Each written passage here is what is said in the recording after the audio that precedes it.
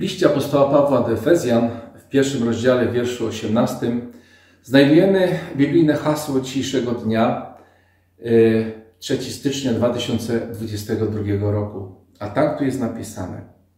Niech Bóg oświeci oczy serca waszego, abyście wiedzieli, jaka jest nadzieja, do której was powołał. Drodzy internauci, przed dwoma dniami wkroczyliśmy w nowy 2022 rok. Z jakimi nastawieniami, z jakimi uczuciami w umysłach i w sercu? Z przygnębieniem czy z nadzieją? W pierwszym członie naszego biblijnego wersetu czytamy: Niech Bóg oświeci oczy serca waszego. Drodzy, to biblijne pojęcie serca zasługuje na poważne potraktowanie i rozpatrzenie.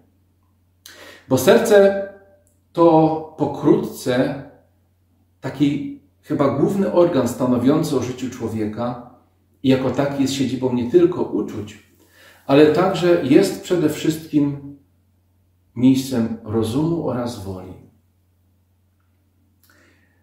Pulsuje w nim życie duchowe. Można powiedzieć, że tam mieszka Bóg i Duch, ale mieszka w nim także zło, a nawet szatan. I to właśnie dlatego apostoł Paweł wspomina o oświeconych oczach serca. I ma tu na myśli to, że serce najpierw musi ujrzeć światło. A jeśli nawet Ewangelia nasza jest zasłonięta, zasłonięta jest dla tych, którzy giną, czytamy w drugim liście apostoła Pawła do Koryntian. I dalej czytamy, bo Bóg, który rzekł z ciemności, niech światłość zaświeci, rozświecił serca nasze, aby zajaśniało poznanie chwały Bożej, która jest na obliczu Chrystusowym.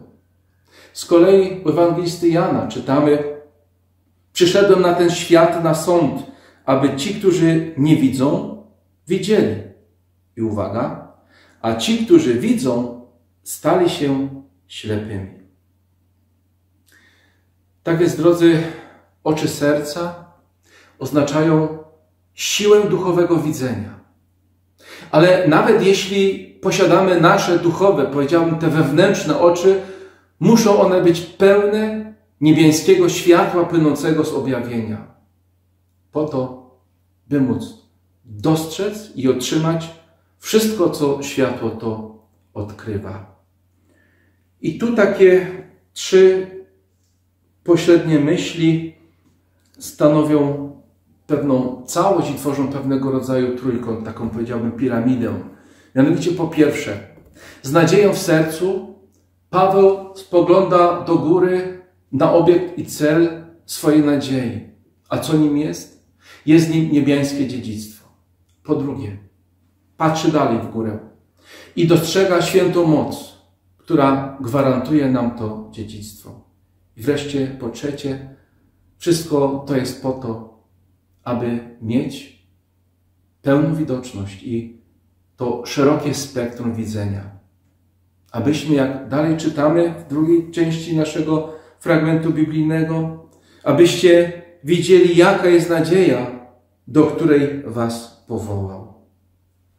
A jaka jest ta nadzieja, do której nas powołał? Jest to nadzieja naszych serc, aby usłyszeć to Boże wezwanie i stać się Bożymi dziećmi. Z reguły chcemy, aby to było pomyślne wezwanie, a nie odrzucona rozmowa. Albowiem wielu jest wezwanych, ale mało wybranych, czytamy w Ewangelii Mateusza. To odnosi się do naszej przyszłości, do pewności zbawienia, przewyższającej wszystkie nasze ludzkie mierne nadzieje. Wkraczajmy więc w kolejne dnie tego nowego 2022 roku z Bożą nadzieją, która mówi: Będzie dobrze mimo wszystko, bylebym ufał Bogu i szedł za Jego wskazaniami. Niech Bóg oświeci oczy serca Waszego, abyście wiedzieli, jaka jest nadzieja, do której Was powołało. Amen.